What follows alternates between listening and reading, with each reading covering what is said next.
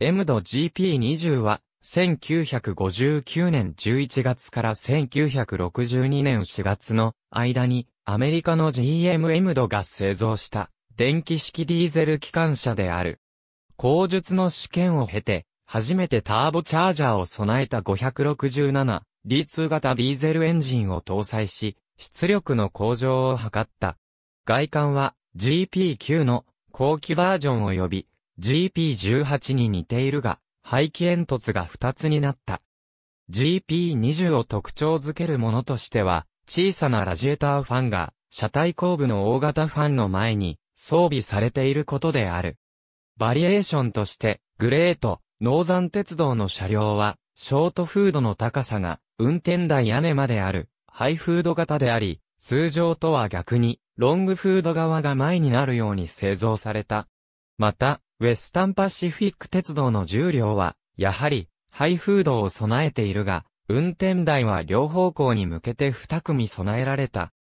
同じ排気量のエンジンを搭載した6同軸の姉妹機種 SD24 が2400馬力であるのに対し、本形式が2000馬力であるのは、駆動用モーターが SD24 の6個に対し4個と少ないために、電流の許容量が SD24 よりも小さいためである。本形式は260両が製造され、すべてアメリカ合衆国で使用された。GMM ドは567型エンジンにターボチャージャーを装備することに慎重であった。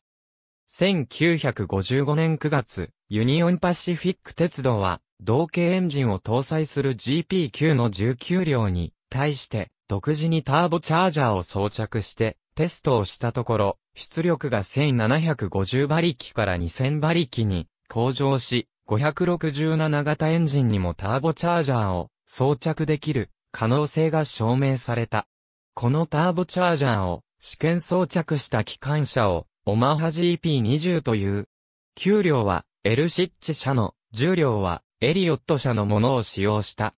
前者はその長方形の排気口が屋根上の運転室よりのラジエターファンのそばにあり、後者は排気口が車体側面のエアフィルターのそばにある。19両中15両はターボチャージャーを撤去の上、GP9 に復元、残る4両は新たなターボチャージャー付きエンジンに取り替えられた。このことから、GMM ドは独自に567型エンジン用ターボチャージャーを開発し、装着したエンジンを 567D2 型とした。GP20 の量産を開始する前、このエンジンを積んだ GP9 を1959年3月から6月にかけてアップに給料を納入した。